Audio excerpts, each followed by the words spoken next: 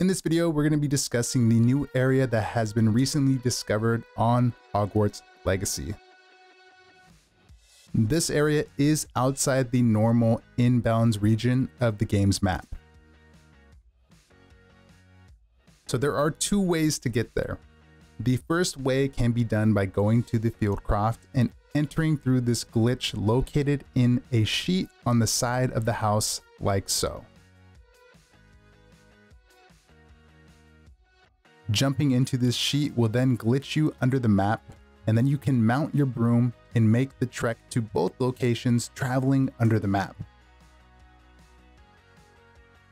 The second way is by Floo flaming to the Falbarton Castle and following this path to fly under the restricted wall barrier and it will allow you to fly to the areas out of bounds on the map.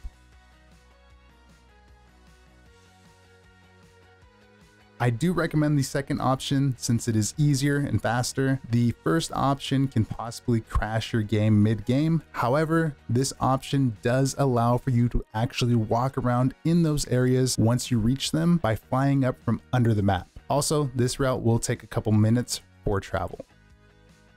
So when we get to these locations, we can see and enter the portion of the map for the first location, it does appear to be the quest with Poppy Sweeting when you are returning the egg that was stolen by the poachers where this all takes place. The next location is again a location that was in game from a quest with Poppy where you put the moonstone to discover the location of the Snidgets by the mooncalf creatures. And finally, there seems to be an open area that has a bunch of fake hillsides and water that you can fly through or walk into. And these seem to be just a placeholder for now, since once you go through them, there's grass, dirt, and even a whole field of trees. And it just seems like it's something the developers wanted to work on, but they have put this here just as a placeholder until an update or something new is involved in this game.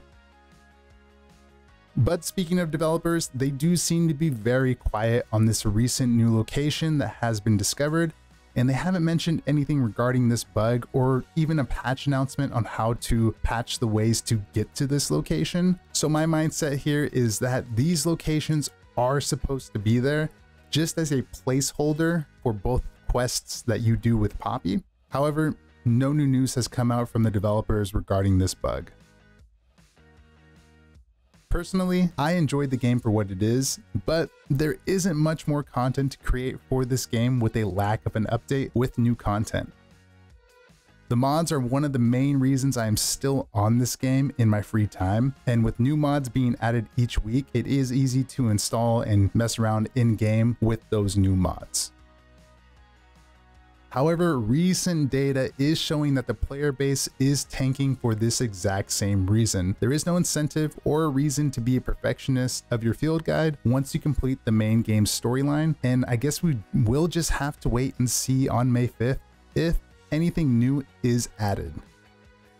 But let me know what you guys think. Do you think the developers have plans for an update soon for this area? Or when the older gen consoles get access to this game? Go ahead and let me know your thoughts in the comments.